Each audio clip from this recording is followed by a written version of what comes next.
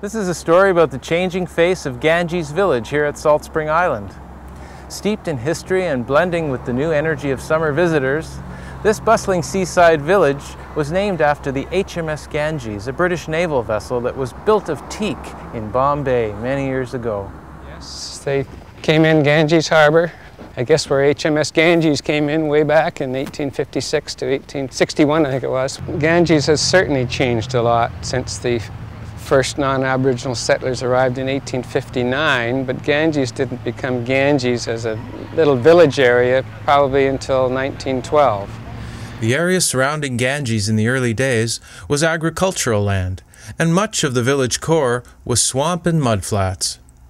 For many years, the harbor was the site of log dumps and booming grounds. Most of Ganges is built on landfill, According to Bob Rush, if current agricultural and ecological regulations had been in place back then, Ganges would not exist as we know it today. Uh, where we're standing now in Centennial Park was filled in in about 1966. There were no buildings over that way at all. It was swamp area.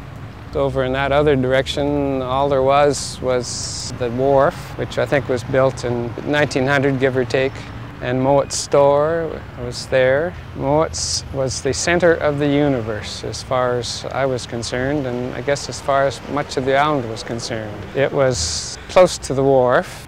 Boat days were exciting days because that's when ice cream arrived on the island. We didn't have refrigeration on the island in those days because electricity didn't arrive until 1937. So when the boat came in, it would come in with padded containers with dry ice on the top with ice cream, and it would be taken into Mouat's store, and us kids would be lined up to get our fix of ice cream. Young Bob and his friends attended the Salt Spring Consolidated School, which opened its doors in 1940, the same year this photo was taken.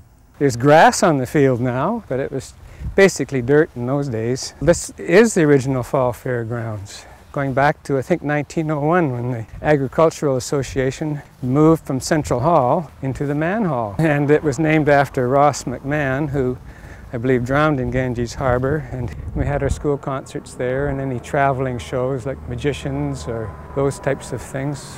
This building, now serving as the Cafe Italia, was once the island's first forest ranger station and from 1932 to 1945, before the Rangers called it home, it was Salt Springs' first telephone exchange building. At the center of town, where Fulford Ganges Road meets Lower Ganges Road, there once stood a memorial to honor Salt Spring Islanders who fell in the World Wars. The cenotaph, as the monument is known, was moved from the triangle at the crossroads to Centennial Park in 1967. The cenotaph in its new position it now has the names of the, those who passed away in the Second World War. So there are about 30 names or so from the First World War. To learn more about the history of Ganges Village, visit the Salt Spring Archives online.